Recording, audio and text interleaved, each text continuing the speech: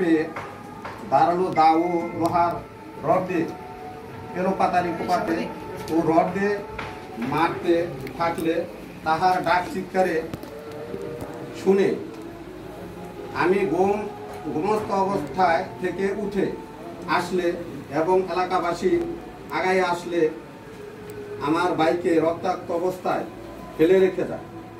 এই বলে চলে যায় যদি আমার ভাই টিপু চৌধুরী রিপন, এইবার যদিও প্রাণে বেঁচে যায়, পরবর্তীতে তোদের দুই ভাইকে একসাথে খুন করে গুম করে ফেলব বলে হুমকি দিয়ে চলে যায়। গত এক বছর পূর্বে চৌধুরী খুনের মাধ্যমে থানায় অভিযোগ জানায় যে রাজীব শরীফ মাদক সেবন ও বিক্রয় করে। সেই যে দড়ি এক বছর যাবৎ মারার জন্য উৎপেতে উৎপত্তি ছিল। তাই সুযোগ বুঝে এই ঘটনাটি ঘটিয়েছে।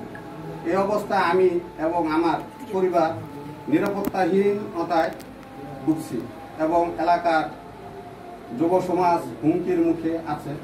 প্রিয় সাংবাদিক বায়ু বন্ধুদের কাছে আমার দাবি, পরিবার ও আমার এলাকার যুব সমাজকে মাদক সম্রাট রাজীব ব্যাপারী ও শরীফ ব্যাপারীর হাত থেকে রক্ষা করবেন এবং তাদের আইন, আইনের আওতায় আনতে স্থানীয় প্রশাসনের সুদৃষ্টি কামনা করছি। আইনের আওতায় এনে শাস্তির ব্যবস্থার দাবি জানাচ্ছি। থানায় অভিযোগ দেওয়া আছে।